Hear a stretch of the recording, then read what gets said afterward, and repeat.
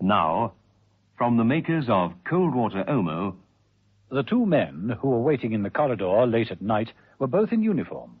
Roy Casper, fresh faced and rugged, about 30 years of age, is an army lieutenant. Dan Fletcher, sitting alongside him, a young naval officer. You next. That's right. How do you think you're going to stand up to it? Well, I'm pretty confident. I've passed everything so far. And you? Uh, I don't know. I reckon I'm all right. It was at that point that the door at the end of the passage opened.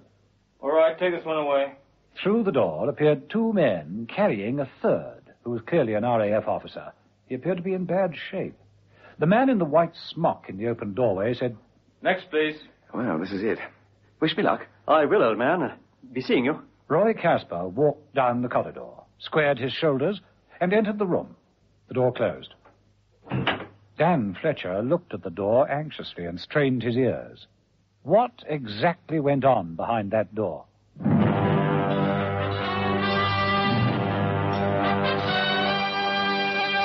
The Avengers.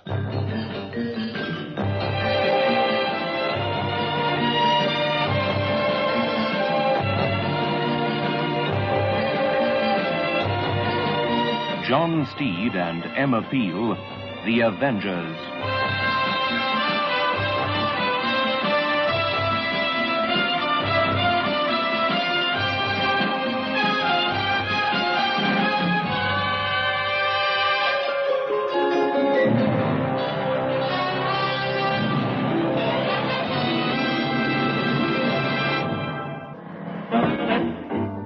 Episode one of this story, in which John Steed and Emma Peel are told of a serious security leak and realize that this will be a case of interrogation. The telephone was the old fashioned type, fixed against a wooden panel. The mouthpiece jutted out into the corridor. The receiver, with its long, twisted cord, hung in the clasp alongside. John Steed walked over to it, removed the receiver, and dialed a number. There was no call sound. Instead, the whole panel began to swing round. Steed entered the opening and replaced the receiver. He was in a large gallery overlooking an office filled with files, desks, and telephones. It was Mother's new headquarters. Mother! Mother! Over here, Steed. The cocktail cabinet. Oh. Bit early for mixing martinis, isn't it? I grew impatient waiting for you. I knew the moment I started to slice the uh, lemon you would appear. You will join me. No, of course. I always like to start the day well. Uh, no olives. Ah, uh, good one. For good health. I have an idea you'll need it. Thank you for the drink. Well, what's on your mind, Mother? Roy Casper, military intelligence. Casper. Uh, link man to some of our paid informers, isn't he? That's right. What about his habits? I think on the whole I'd say they were fairly clean. I did not ask you if he was house trained. I mean his social habits, his hobbies, recreations, clubs he might belong to, places in the, he's in the habit of frequenting, people he might see. Oh, dear. Oh, dear, is hardly a reply. Well, just putting two and two together, those sort of questions can mean only one thing. You're right. Casper is missing. Uh, perhaps there's a little too much vermouth in this one. How long has he been missing? He hasn't reported in for the past 48 hours. Well, I presume someone has checked his apartment. Mrs. Peel is over there at the moment. Ah. Mother?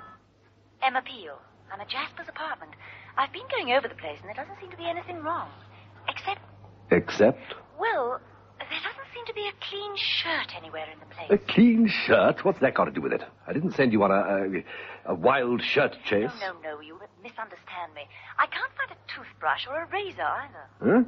Huh? Oh. Oh, I see. Uh, yes, quite. Uh, yeah. Uh, well, stay there. Um, I'll send the forensics mob along right away. Right. Bye. Bye. Yeah. No sign of a shirt, razor, or toothbrush. Looks as though he packed and left of his own accord, then. Exactly my own deduction. But it still doesn't tell us where Casper is, does it? Casper was sitting in a chair, his wrists bound tightly to the metal arms. A white light blazed into his eyes. He'd been there all night. The man in the white smock, whose name is Blackie, stood over him. May I have your name, rank, and number again, please? Roy Casper, Lieutenant 22413791. Good, thank you. You're attached to military intelligence, aren't you, sir? Sir? I asked if you were attached to military intelligence. My name is Roy Casper, Lieutenant 22413791. I shan't ask you again.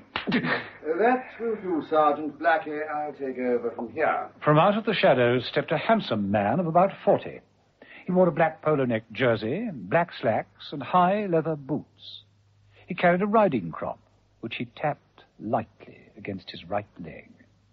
Colonel Mannering was a saturnine figure. So, you're feeling brave, Casper. Lieutenant Roy Casper, double two four one three seven nine one. Oh, I don't doubt your bravery. We have had many brave men in here, but they all talk eventually. You'll get nothing from me. Nothing. On the contrary, we shall get everything from you. Everything we wish to know. Colonel Mannering slipped the riding crop under Casper's chin and lifted his bowed head. Casper. Lieutenant Roy Casper. Look at me. Look at me! Sleep. Please. Let me sleep. Sleep, of course. We'll let you sleep. A warm bed, soft pillows, eh? Soft. So soft. Soft pillows. Sleep. Sleep. But not yet. Lieutenant Roy Casper. Two, two, four. We know you run a string of informers, Casper, men who pay for scraps of information. The names of those men are known to only a select few. You will tell us the names of those men. You will tell me now. Understand? We know that one of these men is a keen archer. Now, we want his name and what he looks like and where he practices his archery. You will tell us now.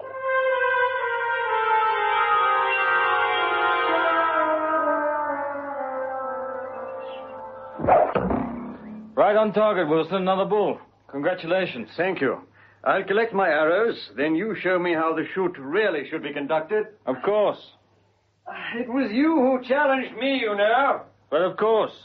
Once I was told that James Wilson was the best archer in this district, I had to find out just how good.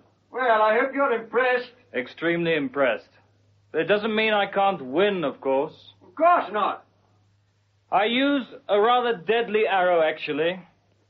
It flies like this.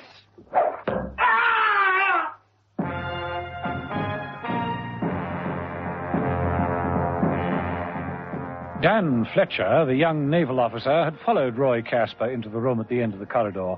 For him, this was also the testing time. I, I won't tell you anything. I, I, I won't. Listen to me, Daniel Fletcher. You had a friend. Ah. His name was Roy Casper. He passed through this room ahead of you, didn't he? D- d- don't know anyone called Casper. Oh, yes, you do. Or at least you thought you knew him. You thought that he would succeed, maintain his identity, not give anything away. But he did. He told us everything we wanted to know. And the man he identified is now ours. You will be equally cooperative. No. No, I won't. Yes. Yes. Yes, you will. Colonel Mannering began beating a tattoo on his leather boot with the riding crop as he repeated over and over and over again. Yes, you will. Yes, you will.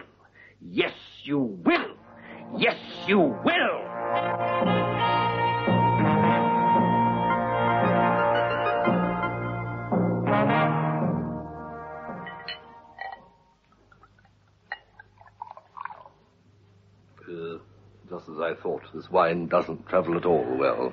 Unless we hear definite news soon, we'll both be in an advanced state of alcoholism. And Nonetheless, Steed poured himself another glass of chilled wine.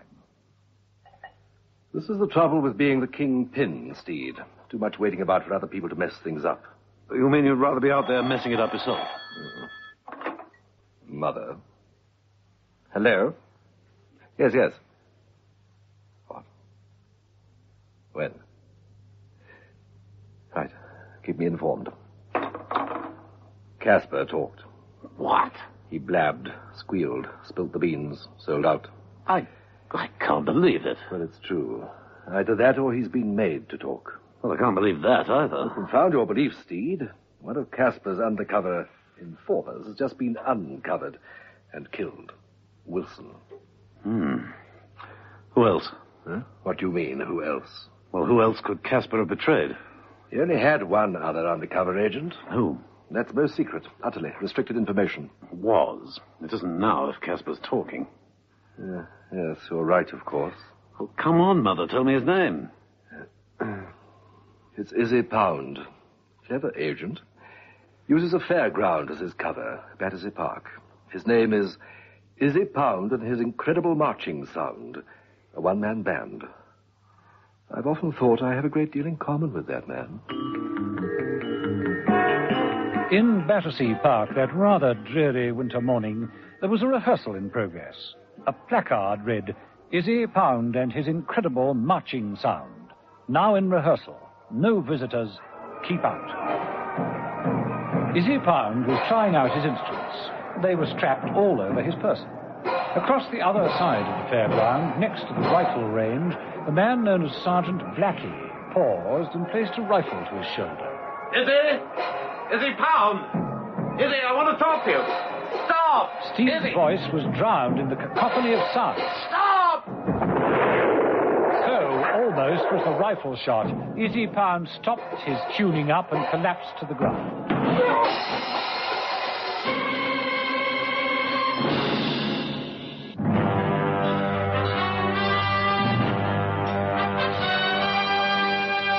The Avengers.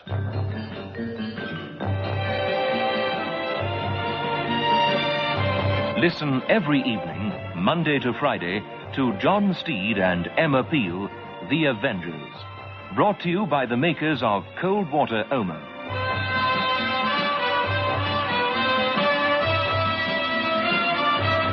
The Avengers.